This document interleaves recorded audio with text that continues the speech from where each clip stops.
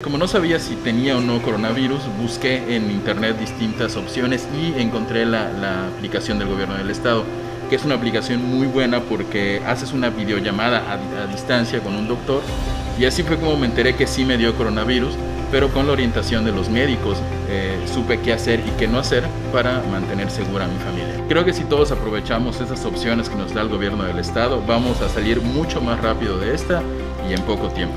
Unidos para seguir cambiando. Segundo informe de resultados.